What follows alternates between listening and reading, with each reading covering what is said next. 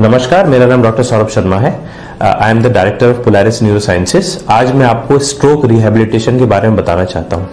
जैसा कि आपने देखा होगा अपने आसपास, काफ़ी लोग ऐसे हैं जिन्हें फालिश का अटैक पड़ने के बाद हाथ पैर में परमानेंट डिसेबिलिटी कमी आ जाती है और वो इस हाथ पैर की ताकत ज़िंदगी भर के लिए खो देते हैं।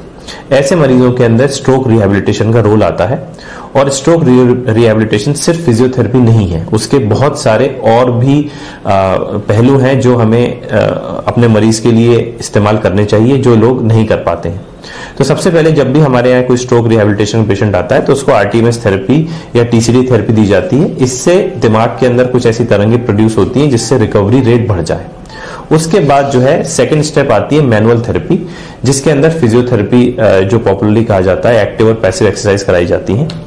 इसके बाद जब पेशेंट में थोड़ी सी जान आने लगती है तो उसे एक मोबिलिटी ट्रेनर जैसा डिवाइस है, इस पर चलवाया जाता है, जिसमें वो ऊपर सस्पेंड हो रहा होता है नीचे ट्रेडमिल चल रही होती है। इससे जब ताकत और बेटर आ जाती है तो और फाइन मूवमेंट्स को बेटर करने के लिए वर्चुअल थेरेपी का इस्तेमाल किया जाता है, और एंड में जब बहुत ही फाइन मूवमेंट्स हाथ की ताकत लौटानी है तो रोबोटिक्स का भी इस्तेमाल किया जाता है। तो कोई भी स्ट्रोक का पेशेंट है तो निराश ना हो। आजकल स्ट्रोक रिहेबिलिटेशन से भी बहुत अच्छे मेरेकल्स हो रहे हैं और काफ़ी पेशेंट ऐसे हैं जो ठीक होकर जा रहे हैं। तो ऐसी चीज़ का फ़ायदा उठाएँ।